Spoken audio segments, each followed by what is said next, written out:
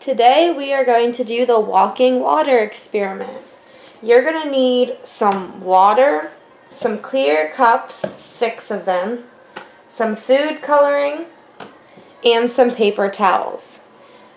So the next thing you're going to want to do is put water in every other cup and put them next to one another.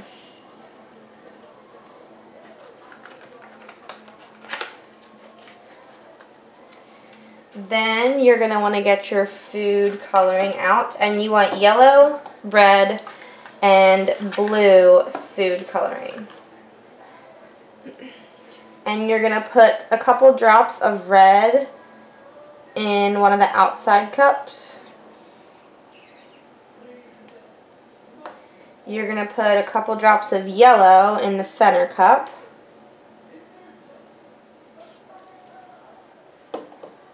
And then you're going to put a couple drops of blue in the other outside cup.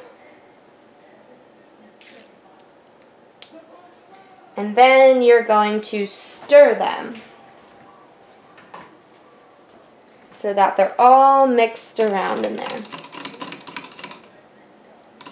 Make sure you don't mix up your colors with whatever you're using to stir. Make sure you dry it off before you put it in the next one.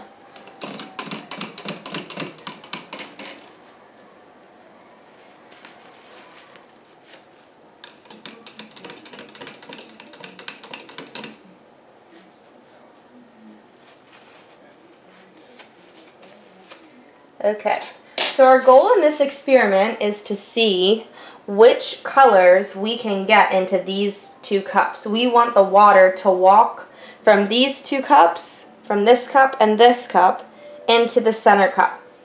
So, we are going to do that by using paper towels. So you're going to take your paper towels and tear them off into rectangular strips that look like this.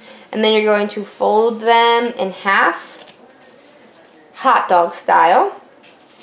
And then you're going to fold them in half hamburger style and put one in one cup and one in the other cup.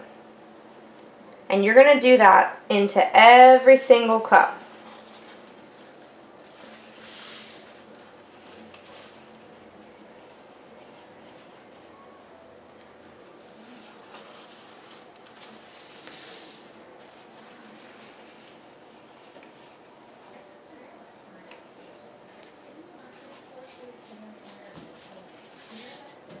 And it should look like this.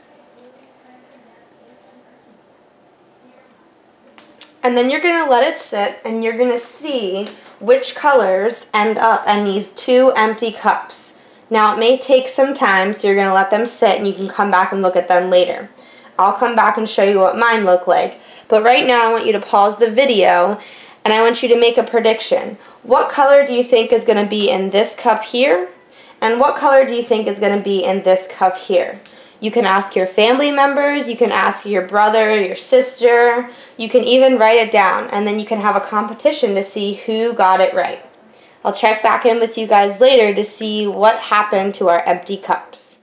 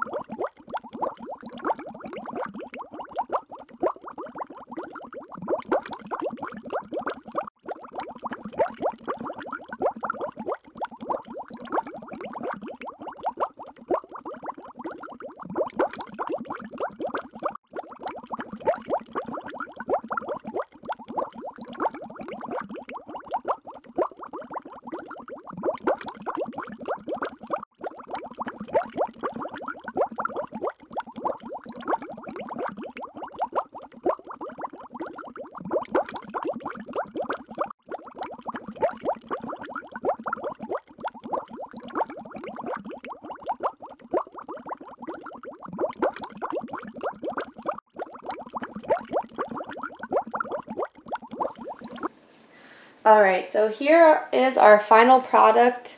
Um, I let it sit for about two hours. Um, as you can see, the middle cup I said in the beginning of the video was supposed to be yellow, um, and the food coloring was actually orange, um, which that's no problem, so it just uh, ended up being different in the middle cups. so it doesn't really matter which colors you put, you're just trying to make new colors. So the new colors we made in this cup was green, and in this cup we ended up making yellow. So if you end up trying this at home, maybe you can try and make different colors, or you can try the same thing and make the same colors I did. I hope you have fun, and I will see you next week.